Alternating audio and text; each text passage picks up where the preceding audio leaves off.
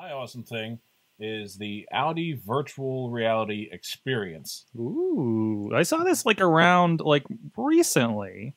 Uh, but uh, yeah, you tell me about this. You're of course like you're a Mr. Audi. Let, Yes. us be honest. Yes, you're you're I'm like an Audi fanatic. I run the social Oh, yeah. media for the Audi Club of uh, Western Pennsylvania. Um, basically, you tell me what chassis code you have, and I can tell you the different engine options and all different kinds of fun tidbits like that, and how it does on Do track a- and whatnot. do they have a cardboard app as well? Uh, not sure if they have a cardboard app yet. Need Hmm. to look into that. Def- definitely something worthwhile because then you know you have your Audi branded cardboard that you can take home from the dealer. There you go. It's good marketing. It is good marketing, but it looks like they give you a little bit more than that for this, right? Yeah. So what they do, you go to the dealer and uh, they set you up with a set of uh, Bang & Olufsen headphones and also an HT- HTC uh, Vive or Oh, Oculus I think it's Vive. Vive. Okay. Um, and uh, they load up whatever car you're looking at. So, you know, obviously they want to use the Halo car for all the uh, various things that they're showing off. So they set it up for the R8 V10. hmm So what it does is it lets you say, okay, well, you know, that's a nice uh, blue R8, but you know, I want to see what it looks like in that nice uh, shiny red that you have. And then they hit a button, all of a sudden the car's red. Well, I don't like those wheels. I want this other wheel option. And then they can change uh, the wheel option, and you're able just to walk around the car and see what it looks like with those various options. But the interesting thing is, it goes beyond just the exterior experience or uh, exterior appearance. So, uh, you know, you get all these different options for different types of leather, uh, different, uh, you know, brushed aluminum inlays, carbon fiber inlays on the interior, all these different finite details. Well, they actually went so far as to model the entire car so that uh, you just basically move into where your head would be in the car and you're able to look around like you're sitting in the car. Hmm. And you can adjust all these different settings on the fly to see how uh, their virtual dashboard looks, you know, relative to whichever kind of uh, you, know, material you picked for the seats or the headliner or all that stuff. And uh, it says that you can even go in and you know move your head around where the engine would be and see the inner bits of the engine compartment just to see all that nightmarish work that you may have to do if you know you're a masochist like me and you decide to work on your own Audi. But they're going to work on loading all the different uh, vehicles in their model line, all 52 of them, with all the various options into this program so that you're able just to walk around and see what your next Audi would look like in person at the Mhm. dealer. Oh, uh, we're pulling up some video. Um, I forget where this is from.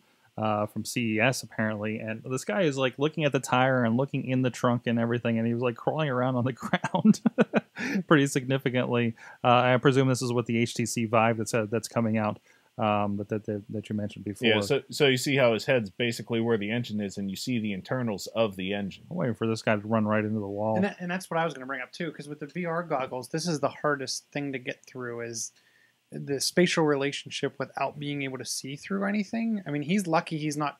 I'm surprised he's not either misjudging the floor and falling to the floor or trying to fall through the floor. It, it's. I was wondering because you look at the case that they give you, and there's a device kind of in the center of, of that case with the with the headphones and the um, goggles. I'm surprised they don't have it where this is some kind of I can sit stationary and use a controller to move myself without actually having to get up and move around the room. Because the other the interesting thing is, is look, there's a cable attached to him. hmm It's like up in the middle, like it's like it's like strung to the middle of the room. Like as, as a customer, this is this would have to be a really hard sell for me to want to do this versus just show me the darn car. and I do and I do feel like I do feel like that's one of those like things we're working on a little Mhm. bit. Um, yeah, I, I think that's i- it's an interesting problem, but um, and also that's not a final version of the Vive that they're using there at CES, and that was like uh, about two months ago. So they're using some kind of specialized one that goes to a big, powerful computer that's not finalized hardware, not the right you know stuff. And I, and I don't know what I can't remember what all the hookup is for an HTC Vive, but uh, and I think that one is supposed to be a little bit more made to roam around uh, than than what you see with the Oculus. Which everything I've done with the Oculus so far has been more or less a um, sit down experience. So I don't know. It, it, that's awesome. Of course, Audi it, or any other car. I don't know if you if you're on audio. Uh, we I think we could mostly described kind of what's happening on the video. Uh, but there's also a part of this where you're on the moon. So uh, if you want to take your Audi on the moon, there you Yeah, go. pick the background where you think your car would look best, and Uh huh. just roll with it. There you go. So There you go. that's on the moon. All yeah. right. Are do you know are any other car dealerships um, um, venturing into this that you're aware of? Um, not that I'm aware of, but I'm sure that uh, you know, if anything, at least uh, the other two that make up the big three of Germany are going to follow suit: BMW and Mercedes. Mm-hmm. I think Mercedes actually has been toying around with something similar to this.